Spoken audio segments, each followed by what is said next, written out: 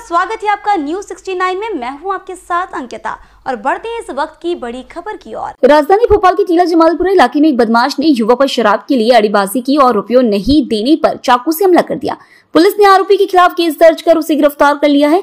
Police के मुताबिक हनुमानगंज थाना इलाके में रहने वाला मोहम्मद दानिश जनरेटर सुधारने का काम करता है। सोमवार की रात दानिश अपने दोस्त से मिलने के लिए हरिजन बस्ती टीला जमालपुरा पहुँचा था। रात करीब साढ़े सात बजे वह चाय की दुकान पर दोस्त का इंतज़ार कर रहा था। इस दौरान इलाके में रहने वाला अन्नी उर्फ़ अनीस उसके पास पहुँचा। वह दानिश के साथ गाली गलोच करते हुए शराब के लिए पैसे देने की मांग करने लगा। दानिश ने उसे गाली देने से मना करते हुए कहा कि उसके पास पैसे नहीं है। इसके बाद बदमाश अनीस ने एक छोटा चाकू निकाला और उसके गाल पर मार दिया। इसके बाद उसके साथ मारपीट भी की, जिससे दानिश गंभीर रूप से घायल हो गया। हमले के बाद धमकी देते हुए अनीस वहाँ से भाग निकला। बाद में पुलिस ने आरोपी को गिरफ़्तार कर लिया। भोपाल से न्यूज़ सिक्सटी के लिए आदिल खान की रिपोर्ट। की घटना सामने आई जहाँ पर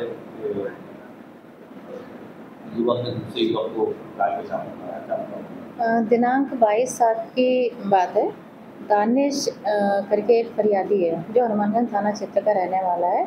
अपने दोस्त फिरोज से मिलने हरिजन बस्ती थाना टीला जमालपुरा क्षेत्र में आया था, जहाँ हरिजन बस्ती का ही रहने वाला अन्नी उर्फ़ अनीस। उससे उसकी गाली गलौज और मारपीट हो गई। उसने उसके साथ में मारपीट कर दी।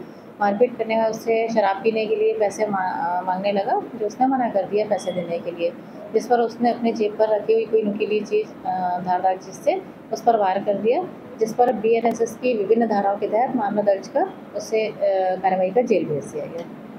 इस खबर पर आपकी क्या है राय? हमें कमेंट सेक्शन में ज़रूर बताएँ। तब तक के लिए धन्यवाद।